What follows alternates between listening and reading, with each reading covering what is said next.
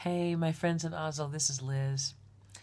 I just want to remind you that I'll be there on October 18th, Sunday. The guys and I will be there and we'll be doing songs from the new record, Freedom and Surrender. I'm really excited to bring you this new music. See you soon.